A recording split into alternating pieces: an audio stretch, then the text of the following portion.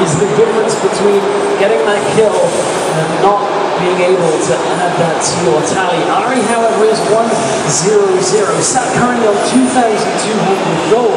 That's almost certainly going to be the, pretty much the remnants of the DFG, still a few hundred gold off the entire recipe cost, but that is a big item spike that Ahri is going to have over Xerath. You look at the farm, 94 to 69. Xerath right now is rolling on a Chalice of Harmony. Has been caught out. Silken Battery comes out, slams as well. The Lava's ultimate, but the flash comes through from Benny. It back. Your bot lane trade, however, is walking the dot onto both of these bot laners. Gets the sun out as well. Follows on with the ball, Will be keeping them in place and comes away with it. But Colin comes across. Will be pushing Corki back into lane, but that ball was insane. Oh, double bubble stops any kind of uh, engage under the turret. You have to feel they would have looked for it. And that was a very needed engage there for the Corki lane because uh, Lucian has already got his BF sword here. He's well on the way to that Infinity. And at this point in the game, Corki should be able to trade like this. And he just gets deleted from the bot lane. Bears the tidal wave coming out, and then follows across with Ebb and Flow. Be pushing him backwards, and Morgana now comes back into the lane, but the carry's already taken down his counterpart. Yeah, we'll play that one. I was going to say, you want to play that one out before you start recalling. But Corki is incredibly low right now. However, his goal can. He has enough to finish off the Sheen, but he's not going back. This is fairly risky to stay in lane. They know Irelia has no teleport, but a roam from Xerath, who who've been dominating. The problem is he'd already backed off, so good map awareness here, just to make sure they can shove that bottom lane into the tap. Yeah, right out the arcade, literally just down the river would have been able to pin him down and pick up the kill. But regardless, 3 and 0 so far. Manchester University clearly leading this game over the University of Liverpool. Saul will be starting with his blue the second blue of the game, to donate this towards his millionaire of Xerath. Doesn't look like Manchester are too interested in trying to contest it. Yeah, it's going to be a key part of the next few minutes here, getting to up on Xerath. Xerath is a primary wave here, and it's something that we're going to have to watch for the build path on Lucy here.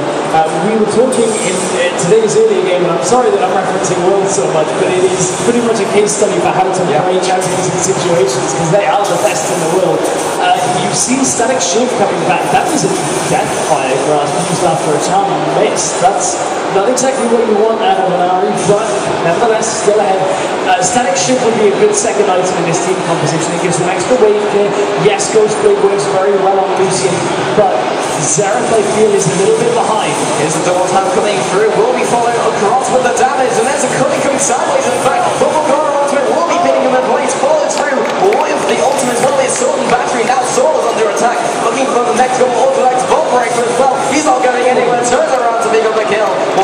Will not be getting it. A one for two trade for Manchester. In that engage, uh, University of Liverpool were a little bit baited by the fact that Corki's damage is deceptive. A lot of Corki's damage is up front in the team fight. So Corki started putting a lot of damage down, and I thought for a second that Lucian was going to trade very well because he has the additional damage in that exchange.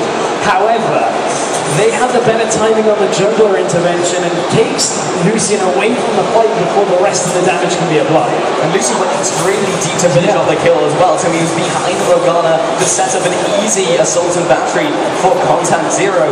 And in fact, he probably didn't even use the burner. That could have been just a point blank Vault Breaker. Top lane, however, hands on fire will be coming up on towards this mini. Soul comes out, flash away, I have destruction, and also the Varane coming in for the mid The comes out. This should be a dead Ryze. Just a matter who it's going to be going to. Arcanopulse, make sure it's going to Mentos. Yeah, really nice timed uh, exploiting the over push from Ryze. And this is what I feel they could have been doing earlier. However, what they give away for that is uh, turret as well.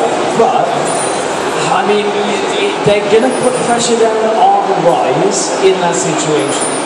The problem is, mid turret is crucial for these game fights around Dragon. Dragon is still up to just under 20 seconds, and that's going to be a bit of a. It's indeed as the team start gearing up for this objective. Mentos has come into the bottom lane oh, alongside his jungler.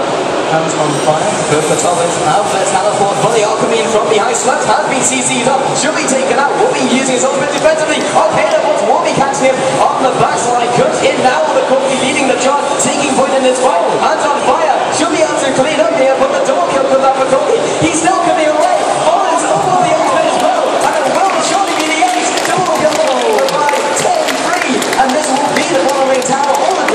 Use it. Ace for one, they should rotate around to Dragon, and I thought for a second there that Irelia was going to start going on cleanup